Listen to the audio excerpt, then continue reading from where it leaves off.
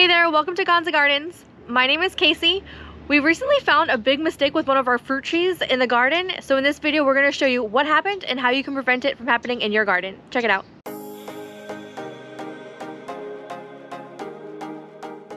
Just a quick little walkthrough on what's happening with some of our fruit trees right now.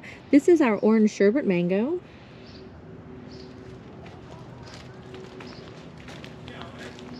Over here, this is pickering.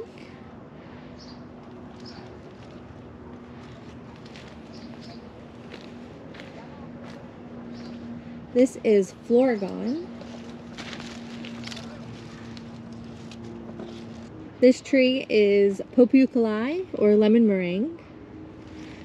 We removed a lot of its fruit. This tree right here, this is fruit punch.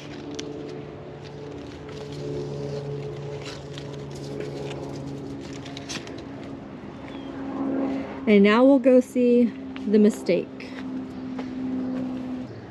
Okay, so we're going back in the back corner of the garden and that's gonna be one of the mistakes, but not the prime mistake. And I'm gonna show you what we're talking about.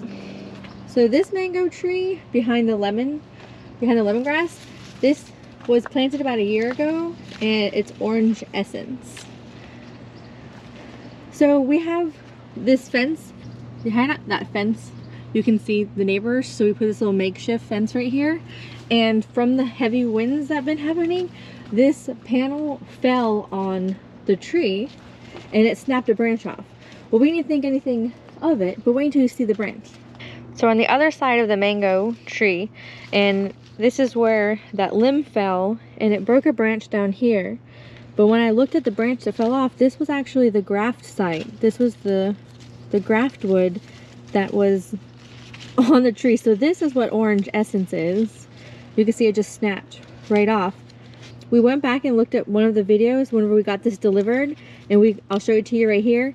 You can see that this part was the top of the tree and there was a tiny little sucker underneath of it. We'll flash forward a year later. This is the exact same graft wood that was on top of the tree and this was that tiny little sucker. You want to make sure whenever you have fruit trees, especially grafted fruit trees, that all you remove all suckers on the plant. So now we lost orange essence. So as you saw, all the other trees, mango trees had fruit and they flowered and this one didn't. And it's just kind of been hanging out. That's because this is the root stock. This is not the orange essence. So that's the mistake.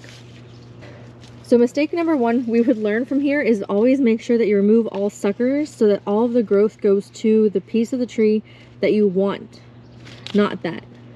Another mistake that we would say is not really a mistake. As you see, we're in the back of the food forest and we're behind a hot tub all the way in the back corner. So we don't really ever come and look at this tree to inspect it. So plant your trees in an area that you're gonna visit it often. So this, we don't ever come back here. That's why it got away from us. The second mistake is that you'll see that there's lemongrass in front of it, which is a huge bush. We put it here to protect it from the cold, but that blocked our view from it, so we couldn't see that it wasn't growing out of the graft site. We just wanted to make sure that when we got orange essence, it was a late season mango. So whenever you're planting your mangoes, you want to get different seasons so you don't harvest them all at the same time. It sure is unfortunate that we lost that mango variety orange essence from the garden, but the silver lining is mango season 2024 is almost upon us. So when we try some new amazing varieties, because there's so many, we'll have an opportunity to bring another one into the garden by top working that seedling. Thank you so much for watching the video. Hope that you enjoyed it. Make sure that you stay diligent walking around the garden looking for any suckers growing up so you don't have the mistake that we had.